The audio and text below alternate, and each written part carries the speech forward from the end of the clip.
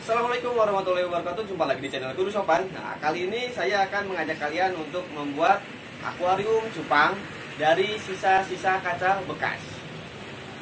Yang gunakan ini adalah kaca alasnya menggunakan kaca 5 mili Dan untuk samping-sampingnya, dinding-dindingnya itu menggunakan kaca yang 3 mili. Kita akan membuat ukuran 19 kali 13 kali 17 kita potong kaca tebal 5 mili sebagai alas dengan ukuran 19 x 13 cm. Gunakan pemotong kaca yang tajam. Butuh penekanan saat pemotongan, tetapi tidak ditekan terlalu besar, supaya kaca tidak pecah saat pemotongan dan mata potongnya tidak mudah tumpul.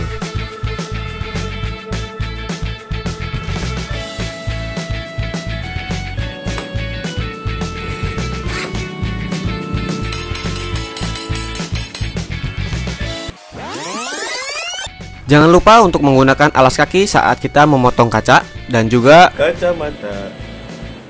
Kita potong kaca tebal 3 mili sebagai dinding depan dan belakang dengan ukuran 19 x 17 cm 2 buah dan dinding kanan kiri dengan ukuran 17 x 12,4 2 buah juga. Lalu kita rakit semua part kaca yang tadi telah kita potong menggunakan alat bantu seperti ini saya menggunakan siku magnet dan juga ada kayu. Kita gunakan lem silen yang warna bening khusus untuk kaca.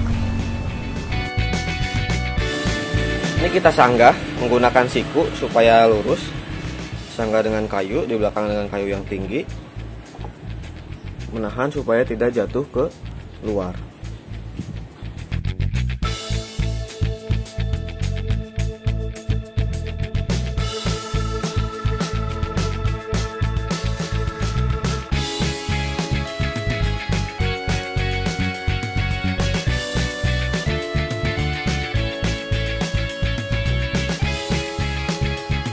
Untuk penggunaan lem bisa dilihat hanya seperlunya saja, jangan terlalu banyak nanti akan melebar.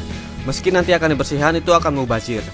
Jadi cukupnya saja itu sudah bagus. Nanti kalau misalnya ada terjadi kebocoran baru kita tambah lagi.